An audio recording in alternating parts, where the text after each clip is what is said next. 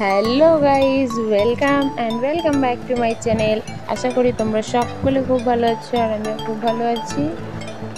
আমার নতুন আরও একটি ভিডিওর সঙ্গে তোমাদের সকলকে জানাই অনেক অনেক ভালোবাসা। তো বন্ধুরা, সকলকেই গুড মর্নিং আর গুড মর্নিং জানাই আজকের কাজ দিয়েই এই ভিডিওটা স্টার্ট করলাম।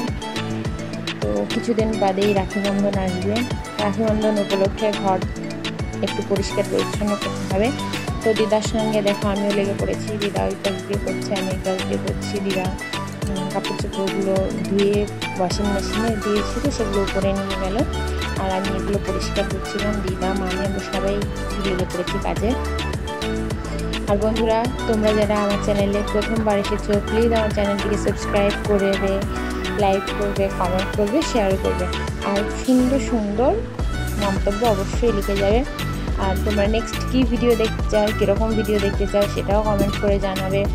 আর বন্ধুরা, রাখি বন্ধন স্পেশাল যে ভিডিওগুলো এগুলো কিন্তু পরপর আসবে যেরকম আজকের এই ভিডিওটা যাবে।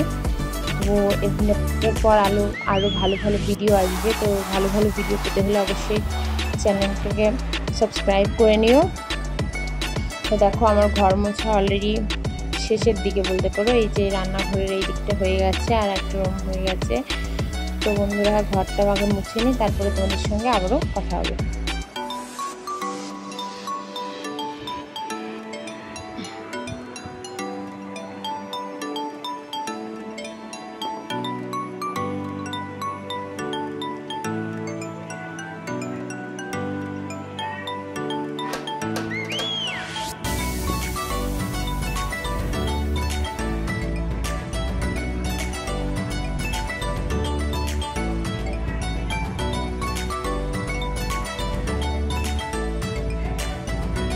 তো বন্ধুরা দেখো, থালা বাসনগুলো ধুয়ে নিলাম। ভিডিওটা নিতে পারিনি, যাই হোক, থালা বাসনগুলো ধোয়া হয়ে গেছে।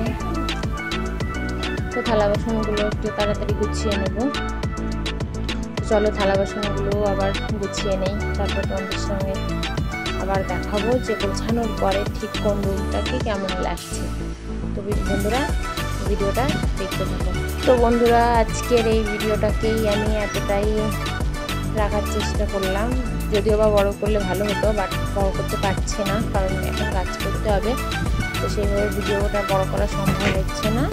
আর আর একটু কিছু অংশ রয়েছে তোমার জন্য, তোমাদের জন্য একটু ভিডিও করা আছে। তো সেইটুকু দিলাম, তোমরা দেখে নিও। আর দেখা হবে নেক্সট ভিডিওতে। সবাইকে টাটা। তো দেখো, আমি একটা একটা করে যেখানকার জিনিস যেটা যেখানে থাকে সেইটাকে সেই জায়গায় রেখে দিচ্ছি। থালা বাসন, থালা বাসনের জায়গায় যেখানে বাটিগুলো রাখি, সেখানে বাটি, গ্লাস, যেখানে যা রাখে দিদা। চায়ের কাপ, সবগুলোই সুন্দর করে রাখার চেষ্টা করলাম বা রেখে দিলাম। তো চলো বন্ধুরা, এবার দেখাই যে এত কাজের ব্যস্ততার মাঝেও দিদা মামি মিলে কি কি খাবার বানিয়েছে। আজকের খাবারের মেনু কি?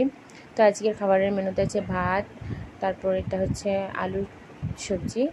আর নেক্সট হচ্ছে একটা পাট শাকের যে সবজি হয়, মাছ দিয়ে। আর আছে পালং শাকের শস্য